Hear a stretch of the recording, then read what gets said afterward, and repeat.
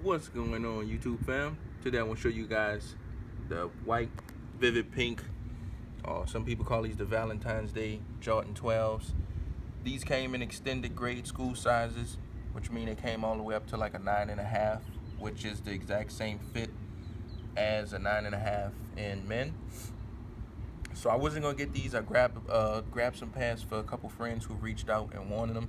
But when I saw them in hand, I was like, man, you know what? I could rock these for. Uh, I can wear these for uh, breast cancer awareness month in October.